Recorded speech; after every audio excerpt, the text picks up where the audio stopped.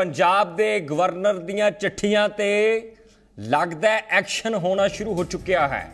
ਦਸੰਬਰ ਮਹੀਨਾ 2022 ਦੇ ਚਰਚਿਆਂ ਤੇ ਸਭ ਤੋਂ ਵੱਡੀ ਖਬਰ ਆ ਰਹੀ ਹੈ ਕਿ 8 ਮਹੀਨਿਆਂ ਬਾਅਦ ਐਕਸ਼ਨ ਹੋਇਆ ਹੈ। ਕੇਐਸ ਚਾਹਲ, ਕੁਲਦੀਪ ਸਿੰਘ ਚਾਹਲ ਜਿਹੜੇ ਕਿ ਸਾਬਕਾ ਐਸਐਸਪੀ ਨੇ, ਜਲੰਧਰ ਦੇ ਸੀਪੀ ਨੇ, ਪੰਜਾਬ ਦੀ ਸਰਕਾਰ ਨੇ ਡੀਆਈਜੀ ਪ੍ਰਮੋਟ ਕੀਤਾ। ਤਾਂ ਉਸ ਤੋਂ ਬਾਅਦ ਸਭ ਤੋਂ ਵੱਡੀ ਖਬਰ ਨਿਕਲ ਕੇ ਆ ਰਹੀ ਹੈ ਕਿ ਕੁਲਦੀਪ ਸਿੰਘ ਚਾਹਲ ਤੋਂ ਸੀਬੀਆਈ ਪੁੱਛ ਪੜਤਾਲ ਕਰ ਰਹੀ ਹੈ। ਸੀਬੀਆਈ ਦੀ ਰਡਾਰ ਤੇ ਕੁਲਦੀਪ ਸਿੰਘ ਚਾਹਲ ਨੇ 29 ਸੈਕਟਰ 'ਚ ਸੀਬੀਆਈ ਪੁੱਛ ਪੜਤਾਲ ਕਰ ਰਹੀ ਹੈ। ਲੋਕਾਂ ਤੇ ਝੂਠੇ ਪਰਚੇ ਦਰਜ ਤੇ ਜਾਇਦਾਦ ਬਣਾਉਣ ਸੰਬੰਧੀ ਇੱਕ ਕੇਸ ਵਿੱਚ ਪੁੱਛ ਪੜਤਾਲ ਹੈ। ਦਰਅਸਲ ਪੰਜਾਬ ਦੇ ਮੁੱਖ ਮੰਤਰੀ ਭਗਵੰਤ ਮਾਨ ਨੂੰ ਪੰਜਾਬ ਦੇ ਗਵਰਨਰ ਬਨਵਾਰੀ ਲਾਲ ਪੁਰੋਹਿਤ ਨੇ 14 ਦਸੰਬਰ 2022 ਨੂੰ ਇੱਕ ਚਿੱਠੀ ਭੇਜੀ ਸੀ। ਚਿੱਠੀ ਦੇ ਵਿੱਚ ਕੁਲਦੀਪ ਸਿੰਘ ਚਾਹਲ ਦਾ ਜ਼ਿਕਰ ਹੋਇਆ ਕਿ ਕਿਸ ਤਰੀਕੇ ਨਾਲ ਤਰੱਕੀਆਂ ਹੋਈਆਂ। ਕੁਲਦੀਪ ਸਿੰਘ ਚਾਹਲ ਦੇ ਮਿਸਕੰਡਕਟ ਦਾ ਜ਼ਿਕਰ ਹੋਇਆ ਕਿ ਕਿਵੇਂ ਹੀ ਉਹਨਾਂ ਨੂੰ ਤਰੱਕੀ ਦਿੱਤੀ ਗਈ, ਜਦਕਿ ਕਿਹਾ ਗਿਆ ਕਿ ਇਸ ਮਸਲੇ ਤੇ ਕੀ ਕੁਝ ਤੈਅ ਕੀਤਾ ਗਿਆ। ਤਾਂ ਪੰਜਾਬ ਸਰਕਾਰ ਨੇ ਕਿਹੜੀਆਂ ਕਾਰਵਾਈਆਂ ਕੀਤੀਆਂ, ਪਰ ਸਭ ਤੋਂ ਵੱਡੀ ਗੱਲ ਨਿਕਲ ਕੇ ਆ ਰਹੀ ਹੈ ਕਿ ਕੁਲਦੀਪ ਸਿੰਘ ਚਾਹਲ ਸੀਬੀਆਈ ਦੇ ਸ਼ਿਕੰਜੇ 'ਚ ਨੇ, ਤਾਂ ਇਸੇ ਖਬਰ ਤੇ ਪਵਿੱਤ ਜਾਣਕਾਰੀ ਦੀ ਸਾਂਝ ਪਾ ਰਿਹਾ ਪਵਿੱਤ ਐਕਸ਼ਨ ਦਾ ਰਿਐਕਸ਼ਨ ਸਮਝੀਏ, ਜਾਂ ਫਿਰ ਉਹਨਾਂ ਚਿੱਠੀਆਂ ਦਾ ਅਸੀਂ ਜ਼ਿਕਰ ਕਰੀਏ, ਜਿਹੜੀਆਂ ਚਿੱਠੀਆਂ ਪੰਜਾਬ ਦੇ ਮੁੱਖ ਮੰਤਰੀ ਨੂੰ ਪੰਜਾਬ ਭਵਨ 'ਚੋਂ ਭੇਜੀਆਂ ਗਈਆਂ ਸੀ। ਜੀ, ਬਿਲਕੁਲ ਕ੍ਰਿਸ਼ਨ, ਦਸੰਬਰ ਮਹੀਨੇ, ਯਾਨੀ ਕਿ 8 ਮਹੀਨੇ ਹੋ ਚੁੱਕੇ ਆ। ਲਗਾਤਾਰ ਜੋ ਰਡਾਰ 'ਚ ਬਣੇ ਹੋਏ ਸੀ ਕੁਲਦੀਪ ਸਿੰਘ ਚਾਹਲ, ਜੋ ਕਿ ਐਸਐਸਪੀ ਚੰਡੀਗੜ੍ਹ ਸੀ, ਜਿਨ੍ਹਾਂ ਦੀ ਟ੍ਰਾਂਸਫਰ ਜਲੰਧਰ ਕਰ ਦਿੱਤੀ ਗਈ ਸੀ ਮਿਸਕੰਡਕਟ ਦੀ ਸ਼ਿਕਾਇਤਾਂ ਤੋਂ ਬਾਅਦ ਬਨਵਾਰੀ ਲਾਲ ਪੁਰੋਹਿਤ ਜੀ ਨੇ ਕਾਫੀ ਲੈਟਰ ਜੋ ਕਿ ਪੰਜਾਬ ਦੇ ਗਵਰਨਰ ਨੇ ਉਹਨਾਂ ਨੇ ਮਿਸਕੰਡਕਟ ਦੇ ਜੋ ਲੈਟਰਸ ਨੇ ਸੀਐਮ ਭਗਵੰਤ ਮਾਨ ਨੂੰ ਵੀ ਲਿਖੇ ਸੀ, ਜਿਹਦੇ ਵਿੱਚ ਜ਼ਿਕਰ ਕੀਤਾ ਗਿਆ ਸੀ ਕਿ ਕਿਵੇਂ ਉਹਨਾਂ ਤੇ ਜੋ ਕੇਸਿਸ ਚੱਲ ਰਹੇ ਨੇ, ਉਹਨਾਂ ਦੇ ਬਾਵਜੂਦ ਕੋਈ ਐਕਸ਼ਨ ਜਿਹੜਾ ਐਸਐਸਬੀ ਦੇ ਖਿਲਾਫ ਨਹੀਂ ਲਿਆ ਜਾ ਰਿਹਾ ਇੱਕ ਪੁਆਇੰਟ ਤੇ ਇਹ ਵੀ ਕਿਹਾ ਜਾ ਰਿਹਾ ਹੈ ਕਿ ਐਸਐਸਪੀ ਚਹਿਲ ਜੋ ਕਿ ਇਸ ਸਮੇਂ ਕਮਿਸ਼ਨਰ ਆਫ ਪੁਲਿਸ ਨੇ ਜਲੰਧਰ ਦੇ ਉਹ ਕੈਪਟਨ ਅਮਰਿੰਦਰ ਸਿੰਘ ਦੇ ਚਹੇਤੇ ਸੀਗੇ ਤੇ ਲਗਾਤਾਰ ਅੱਜ ਪਿਛਲੇ 1 ਘੰਟੇ ਤੋਂ ਸੀਬੀਆਈ ਦਫ਼ਤਰ ਚੰਡੀਗੜ੍ਹ ਦੇ ਵਿੱਚ ਪੁੱਛ ਪੜਤਾਲ ਜਿਹੜੀ ਲਗਾਤਾਰ ਜਾਰੀ ਹੈ ਸੀਬੀਆਈ ਵੱਲੋਂ ਆਏ ਤੋਂ ਅਧਿਕ ਸੰਪਤੀ ਅਤੇ ਫਰਜ਼ੀ ਕੇਸਾਂ ਦੇ ਵਿੱਚ ਅੱਜ ਦੀ ਜਿਹੜੀ ਪੁੱਛ ਪੜਤਾਲ ਹੈ ਉਹ ਸੀਬੀਆਈ ਦੇ ਦਫ਼ਤਰ ਦੇ ਵਿੱਚ ਚੱਲ ਰਹੀ ਹੈ ਤੁਹਾਨੂੰ ਦੱਸ ਦਈਏ ਕਿ ਲਗਾਤਾਰ ਸੁਰਖੀਆਂ ਦੇ ਵਿੱਚ ਬਣੇ ਹੋਏ ਸੀ ਐਸਐਸਪੀ ਚਾਹਲ ਜੋ ਕਿ ਚੰਡੀਗੜ੍ਹ ਦੇ ਜਦੋਂ ਐਸਐਸਪੀ ਸੀਗੇ ਉਹਨਾਂ ਤੇ ਕਾਫੀ ਜ਼ਿਆਦਾ ਇਲਜ਼ਾਮ ਲੱਗੇ ਸੀ। ਲੋਕਾਂ ਨੇ ਲਾਏ ਸੀ ਜਿਹਦੇ ਬਾਅਦ ਬਨਵਾਰੀ ਲਾਲ ਪੁਰੋਹਿਤ ਨੇ ਇਹਦੇ ਤੇ ਇਲੈਕਸ਼ਨ ਲੈਂਦੇ ਹੋਏ ਐਕਸ਼ਨ ਲੈਂਦੇ ਹੋਏ ਅਸੀਂ ਕਹਿ ਸਕਦੇ ਹਾਂ ਕਿ ਅ, ਅ, ਲਗਾਤਾਰ ਸੀਐਮ ਮਾਨ ਨੂੰ ਖਤ ਲਿਖੇ ਸੀ ਕਿ ਮਿਸਕੰਡਕਟ ਦੀ ਇਨ ਸ਼ਿਕਾਇਤਾਂ ਤੋਂ ਬਾਵਜੂਦ ਕੋਈ ਐਕਸ਼ਨ ਨਹੀਂ ਹੋ ਰਿਹਾ। ਇਸ ਵਾਰੀ ਫਿਰ ਇੱਕ ਵਾਰੀ ਬੰਬਾਰੀ ਬੰਦਾਰੀ ਲਾਲ ਪੁਰੋਹਿਤ ਤੇ ਪੰਜਾਬ ਦੇ ਜੋ ਸੀਐਮ ਨੇ, ਭਗਵੰਤ ਮਾਨ ਉਹ ਆਮਣੇ ਸਾਹਮਣੇ ਨੇ, ਕਿਉਂਕਿ ਲਗਾਤਾਰ ਮਿਸਕੰਡਕਟ ਦੇ ਲੈਟਰਸ ਤੋਂ ਬਾਅਦ ਕੋਈ ਐਕਸ਼ਨ ਨਹੀਂ ਲਿਆ ਜਾ ਰਿਹਾ ਸੀ ਤੇ ਅੱਜ ਫਾਈਨਲੀ ਕਹਿ ਸਕਦੇ ਆ ਕਿ ਇੱਕ ਐਕਸ਼ਨ ਜੋ ਚਿੱਠੀਆਂ ਦਾ ਜੋ ਅਸਰ ਹੈ, ਅੱਜ ਉਹ ਕਿਤੇ ਨਾ ਕਿਤੇ ਦੇਖਣ ਨੂੰ ਮਿਲ ਰਿਹਾ ਹੈ, ਜਿਹਦੇ ਰਿਜ਼ਲਟ ਅਸੀਂ ਕਹਿ ਸਕਦੇ ਹਾਂ ਕਿ ਅੱਜ ਸੀਬੀਆਈ ਇਨਕੁਆਇਰੀ ਜਿਹੜੀ ਹੈ ਪਿਛਲੇ 1 ਘੰਟੇ ਤੋਂ 1 ਘੰਟੇ ਤੋਂ ਵੀ ਜ਼ਿਆਦਾ ਦਾ ਵਕਤ ਹੋ ਚੁੱਕਾ ਹੈ ਕਿ ਐਸਐਸਪੀ ਚਾਲ ਜੋ ਕਿ ਸਮੇਂ ਸੀਪੀ ਜਲੰਧਰ ਨੇ ਉਹਨਾਂ ਤੇ ਲਗਾਤਾਰ ਪੁੱਛ ਪੜਤਾਲ ਸੀਬੀਆਈ ਵੱਲੋਂ ਜਾਰੀ ਹੈ। ਪਰ ਜਿਹੜੀ ਚਿੱਠੀ ਪੰਜਾਬ ਦੇ ਮੁੱਖ ਮੰਤਰੀ ਨੂੰ ਲਿਖੀ ਗਈ ਸੀ, ਉਸ 'ਚ ਕਈ ਜਿਹੜੇ ਪੁਆਇੰਟ ਜਿਹੜੇ ਰੇਜ਼ ਆਊਟ ਕੀਤੇ ਗਏ ਪੰਜਾਬ ਦੇ ਗਵਰਨਰ ਵੱਲੋਂ ਕਿ ਬਿਨਾਂ ਪੈਨਲ ਮੰਗੇ ਸਾਰੀ ਕਾਰਵਾਈ ਕੀਤੀ ਗਈ। ਇਹਨਾਂ ਗੱਲਾਂ ਦੇ ਮਾਇਨੇ ਕੀ ਨੇ? ਕੀ ਉਚਿਤ ਕਾਰਵਾਈ ਸਰਕਾਰ ਨੇ ਸਹੀ ਸਮੇਂ ਤੇ ਨਹੀਂ ਕੀਤੀ?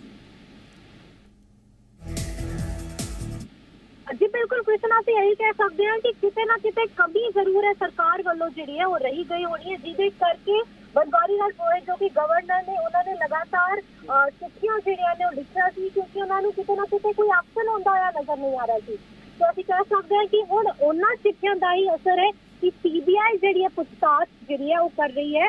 ਸੀਪੀ ਜਲੰਧਰ, ਯਾਨੀ ਕਿ ਜੋ ਕਿ ਚੰਡੀਗੜ੍ਹ ਦੇ ਐਸਐਸਪੀ ਸੀਗੇ ਕੁਲਦੀਪ ਸਿੰਘ ਚਾਹਲ ਉਹਨਾਂ ਤੋਂ।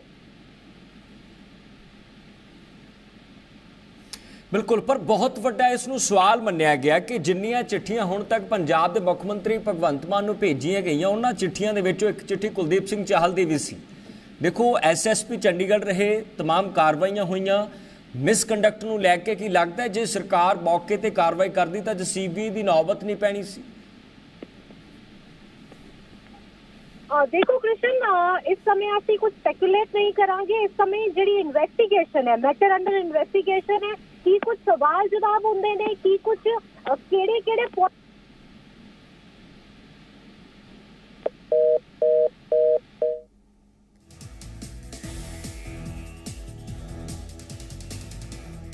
ਸੋ ਲੱਗਦਾ ਹੈ ਰਾਬਤਾ ਟੁੱਟ ਚੁੱਕਿਆ ਮੁੜ ਤੋਂ ਜੁੜਨ ਦੀ ਕੋਸ਼ਿਸ਼ ਕਰਾਂਗੇ। ਚੰਡੀਗੜ੍ਹ ਦੇ ਸੈਕਟਰ 29 ਦੇ ਵਿੱਚ ਪੁੱਛ ਪੜਤਾਲ ਕੀਤੀ ਜਾ ਰਹੀ ਹੈ। ਦਰਅਸਲ, ਪੰਜਾਬ ਦੇ ਗਵਰਨਰ ਬਨਵਾਰੀ ਲਾਲ ਪੋਹਿਤ ਨੇ ਕੁਲਦੀਪ ਸਿੰਘ ਚਾਹਲ ਦੇ ਸੰਬੰਧੀ ਲੈਟਰ ਪੰਜਾਬ ਦੇ ਚੀਫ ਮਿਨਿਸਟਰ ਨੂੰ ਲਿਖਿਆ, ਜਿਸ ਵਿੱਚ ਕਈ ਗੱਲਾਂ ਲਿਖੀਆਂ ਗਈਆਂ ਕਿ ਕਿਸ ਤਰੀਕੇ ਨਾਲ ਪੰਜਾਬ ਦੇ ਆਈਪੀਐਸ ਕੈਡਰ ਦੇ ਕੁਲਦੀਪ ਸਿੰਘ ਚਾਹਲ ਨੂੰ ਤਰੱਕੀ ਤਾਂ ਦੂਜੇ ਪਾਸੇ ਜਲੰਧਰ ਦਾ ਡੀਆਈਜੀ ਲਗਾਉਣ ਤੇ ਵੱਡੇ ਸਵਾਲ ਸੀ।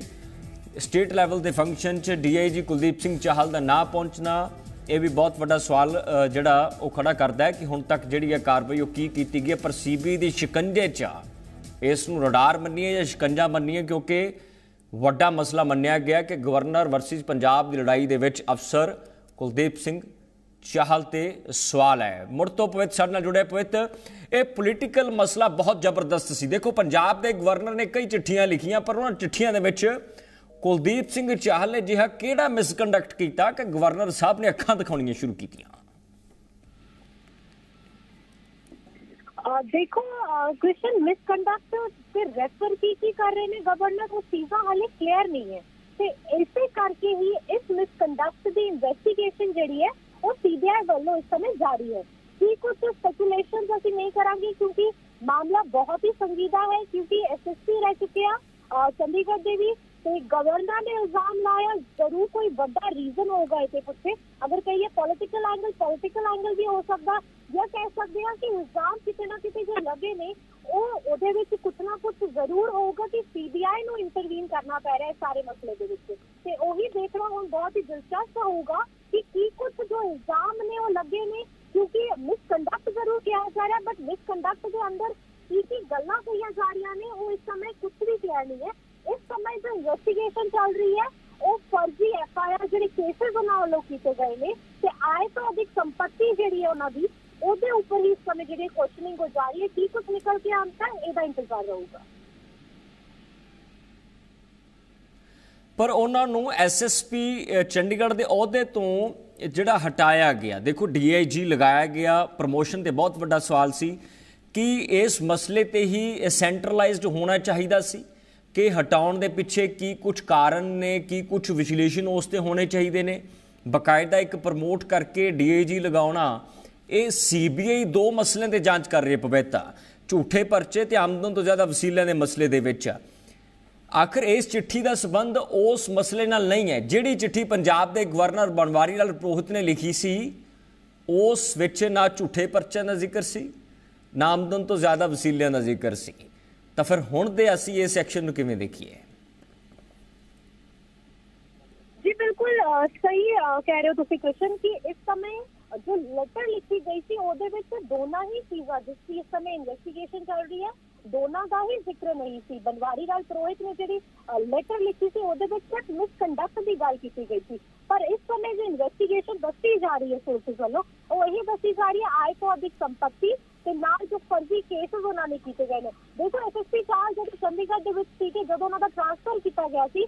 ਉਦੋਂ ਇਲਜ਼ਾਮ ਕਾਫੀ ਲੱਗੇ ਸੀ, ਜਿਹਦੇ ਵਿੱਚ ਹਰਾਸਮੈਂਟ ਦਾ ਵੀ ਕੇਸ ਲੱਗਿਆ ਸੀ, ਜਿਹਦੇ ਵਿੱਚ ਹੋਰ ਵੀ ਜ਼ਿਆਦਾ ਕਬਜ਼ਿਆਂ ਦਾ ਕੇਸ ਵੀ ਲੱਗਿਆ ਸੀ ਕਿ ਉਹਨਾਂ ਨੇ ਫਰਜ਼ੀ ਤਰੀਕੇ ਦੇ ਨਾਲ ਕੁਝ ਪ੍ਰਾਪਰਟੀ ਤੇ ਕਬਜ਼ਾ ਕੀਤਾ, ਫਰਜ਼ੀ ਐਫਆਈਆਰ ਜਿਹੜੀਆਂ ਨੇ ਉਹ ਦਰਜ ਕਰਾਈਆਂ, ਫਰਜ਼ੀ ਕੇਸਸ ਦੇ ਵਿੱਚ ਉਹਨਾਂ ਦਾ ਨਾਂ ਆਇਆ। ਬਟ ਸਾਰੇ ਹੀ ਮੈਟਰ ਜਿਹੜੇ ਨੇ ਅੰਡਰ ਇਨਵੈਸਟੀਗੇਸ਼ਨ ਨੇ। ਇਸ ਸਮੇਂ ਕੋਈ ਵੀ ਇਲਜ਼ਾਮ ਜਿਹੜਾ ਹੈ, ਉਹ ਪ੍ਰੂਫ ਨਹੀਂ ਹੋਇਆ। ਬਟ ਇਸ ਸਮੇਂ ਜੋ ਇਨਵੈਸਟੀਗੇਸ਼ਨ ਚੱਲ ਰਹੀ ਹੈ ਉਹ ਬੰਦਾਰੀ ਲਾਲ ਪੁਰੋਹਿਤ ਦੁਆਰਾ ਜੋ ਖਤ ਲਿਖੇ ਗਏ ਸੀ, ਜੋ ਲੈਟਰ ਲਿਖੇ ਗਏ ਸੀ ਸੀਐਮ ਆਰ ਉਹਨਾਂ ਤੇ ਉੱਪਰ ਨਹੀਂ ਹੋ ਰਹੀ। ਇਸ ਸਮੇਂ ਜੋ ਇਨਵੈਸਟੀਗੇਸ਼ਨ ਹੈ, ਉਹ ਸੀ ਅਤੇ ਜੋ ਐਫ ਫਰਜ਼ੀ ਐਫ ਜਿਹੜੇ ਕੇਸਿਸ ਉਹਨਾਂ ਨੇ ਕੀਤੇ ਨੇ, ਉਹਨਾਂ ਦੇ ਉੱਪਰ ਹੋ ਰਹੀ ਹੈ ਸੋ ਬਿਲਕੁਲ, ਕੁਲਦੀਪ ਸਿੰਘ ਚਾਹਲ ਨੂੰ ਹਟਾਇਆ ਗਿਆ ਸੀ ਤਾਂ ਉਸ ਵੇਲੇ ਹਰਿਆਣਾ ਕੇਡਰ ਦੇ ਐਸਐਸਪੀ ਨੂੰ ਲੈ ਕੇ ਵੀ ਚਰਚਾ ਸੀ ਕਿ ਜੇਕਰ ਹਰਿਆਣਾ ਕੇਡਰ ਦਾ ਐਸਐਸਪੀ ਚੰਡੀਗੜ੍ਹ 'ਚ ਲੱਗਦਾ ਹੈ, ਤਾਂ ਤਾਲਮੇਲ ਦੇ ਵਿੱਚ ਗਿਰਾਵਟ ਆਏਗੀ, ਤਾਲਮੇਲ ਔਖਾ ਹੋਏਗਾ, ਤਾਂ ਪੰਜਾਬ ਕੇਡਰ ਦੇ ਐਸਐਸਪੀ ਨੂੰ ਲਗਾਇਆ ਗਿਆ। ਤਾਂ ਐਸਐਸਪੀ ਕੁਲਦੀਪ ਸਿੰਘ ਚਾਹਲ ਜਿਹੜੇ ਸਾਬਕਾ ਨੇ, ਜਿਹੜੇ ਅੱਜ ਅੱਜਕੱਲ ਸੀਪੀ ਜਲੰਧਰ ਆ ਡੀਆਈਜੀ ਤਾਇਨਾਤ ਨੇ, ਉਹਨਾਂ ਨੂੰ ਲੈ ਕੇ ਵੱਡੀ ਚਰਚਾ ਹੈ ਕਿ ਆਖਰ ਕੀ ਕੁਛ ਤਫਤੀਸ਼ ਦੌਰਾਨ ਸਾਹਮਣੇ ਆਉਂਦਾ ਹੈ।